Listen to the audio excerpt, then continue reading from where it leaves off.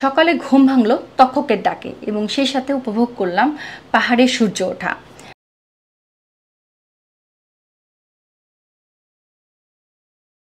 চটপট রেডি হয়ে আমরা চলে গেলাম আমাদের কমপ্লিমেন্টারি ব্রেকফাস্ট এনজয় করতে। কমপ্লিমেন্টারি ব্রেকফাস্টের মধ্যে ছিল চার পাঁচ ধরনের ফ্রুট জুস পরোটা, ডাল, সবজি, হালুয়া এসব।